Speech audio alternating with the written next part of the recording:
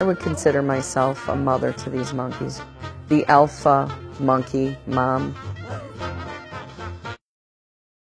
Pinky Janota is mother to two children and six monkeys.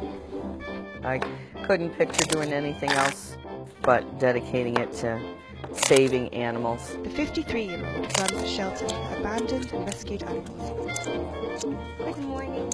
You're going to meet today Max, Maybelline, L'Oreal, and Ava. We teach them uh, sign language so that they can communicate with us.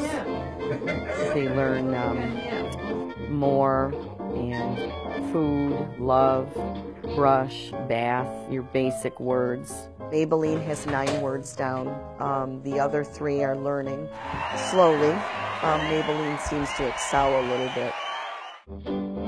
They know how to open their cages, so we have to put little hasps.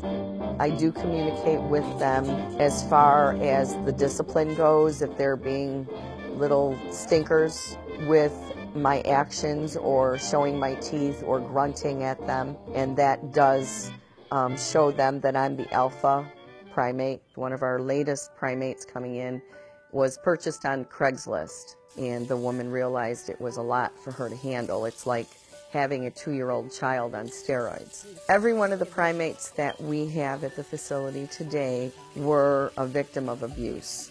Some of them have lost half an ear. Some of them have lost parts of their tails, had them amputated. Max has, his tail was broken in three places. The last two inches were amputated. Pinky has faced some criticism in the past about the way she cares for her animals. She is passionate in her defense of the sanctuary. Yeah, we do receive criticism about taking the animals in. And my only thought and opinion on that is I did not purchase these animals. I did not bring them in to the United States. They're born and bred right here. People are constantly selling them.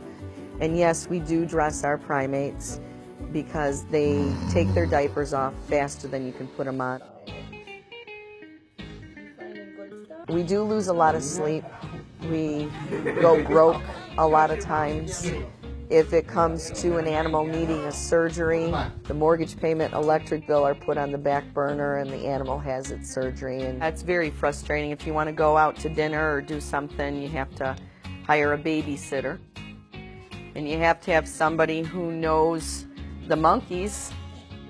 Uh, with the monkeys, it's pretty much everything. It's getting them up, getting them dressed, getting their diapers changed, their bottles, their breakfast, making them their plates, you know, interacting with them out there, working on their sign language, and it's just like taking care of a baby. What it's like being a mom to these monkeys is it's a job that nobody can fathom and nobody can understand the bonds that you have or what you give up or what you wouldn't do for them. I would do that for all of my animals, not just my primates.